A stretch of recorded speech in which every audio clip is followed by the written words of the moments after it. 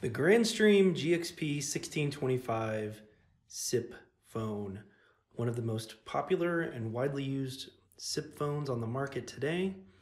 And this video is going to show you how to set one up for your PBX or your cloud service.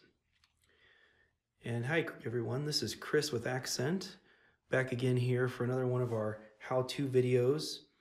This one on the GXP 1625 this is a widely used phone for its price point and its availability. Believe it or not, it's a top 15 seller on Amazon and widely used by Accent when delivering our cloud services. Before we get going, I just want to remind everyone to please like and subscribe to this channel. You can follow us along for more how-to videos. We've got a great series on different Grandstream and Yealink setup and how-to videos, as well as some of our own cloud features that you can browse around on our channel. You can learn more about Accent at accentvoice.com. And uh, let's get going. So the GXP 1625, as I mentioned, very broadly used uh, telephone in today's market. And we've got an unconfigured phone and today we're going to get into the web interface and we're going to configure that phone, register it to our cloud phone system, and then make and take a couple calls just to prove that we did what we said we were going to do. Before we get over to the web interface, as always, you're going to want to grab the IP address of your phone, hit the center button, and browse down to status. It's the second option. Click status and then network status. You want to grab your IPv4 address. Make sure you write that down. We're going to need it when we get to the web browser here momentarily. All right, we're just going to hit the left arrow to back out to the main menu. And your phone should look something like that. Again, this is a factory reset and unregistered phone. Let's jump over to the web interface and get this thing configured. Okay, so we moved to our PC here and opened up uh, Google Chrome, and we're just going to browse to that uh, IP address that we wrote down from previously. Throw that in the browser, and here momentarily the web interface of the phone is going to come up. Here it is, and we're presented with a username and password. If you are using a factory defaulted phone. Your username and password are both going to be admin. You can click login here. And here we go. So we're in, this is the status page. Most SIP phones will start you out on the account status page and show you that we've got no registration at all. That's what we're going to do today. And um, you can browse through different settings on the phone, but account one general settings is where we want to be. So accounts, account one, general settings. This is where we're basically going to give the phone our account information that we got for our phone system or our cloud service. As always, make sure you talk to your phone system administrator or your cloud provider, get some credentials uh, set up for your IP phone. In this case, we're just going to name this 3403. Uh, extension 3403 is what we're going to be using today. Uh, SIP server, we're going to be using connect.accentservices.com and uh, that's the name of that's the DNS address of our cloud server.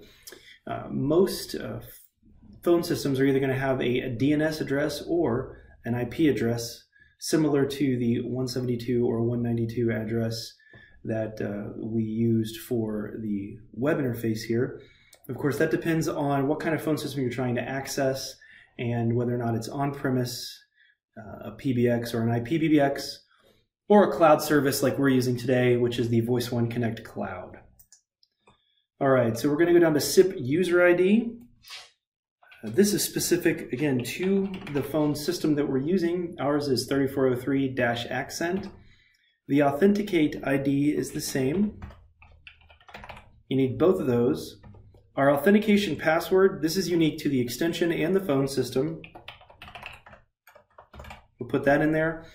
Some phone systems or cloud providers call this the SIP secret. Make sure you ask and verify what you're supposed to be entering there. And then we'll name it, we'll just call it 3403.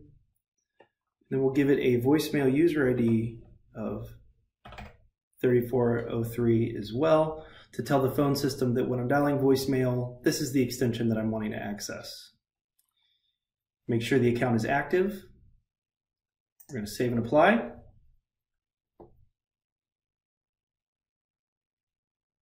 All right, successful. Let's jump over to the status page, account status, and we are registered. Again, we're registered at connect.accentservices.com. That's the Voice One Connect cloud service. Your phone system may differ, or your cloud service may differ as well. Here's our SIP extension ID 3403-accent. We are good to go. From here, we're going to jump over back to the phone and check out the registered IP phone, make a call, and then wrap it up for today. So here we are with our registered GXP 1625 phone. Again, we're using extension 3403. The GXP 1625 doesn't give you a whole lot of visual indication that it is registered. So the best way to tell is just try to make a call. We're going to turn on the speaker and dial an extension. We've got a ring back and we hear the soft phone in the background ringing as well. So I think we're good to go here.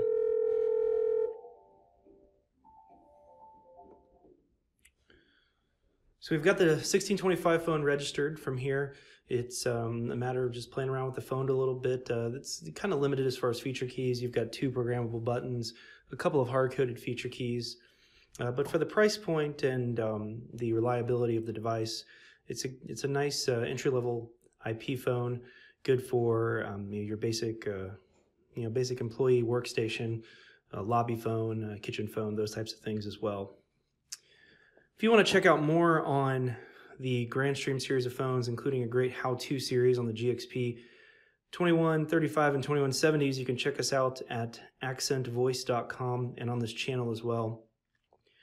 Also, for any more information regarding our cloud services at the, uh, the Voice One Connect Cloud, where you can get started with the GXP 1625 on a cloud service for less than 20 bucks a day, a month.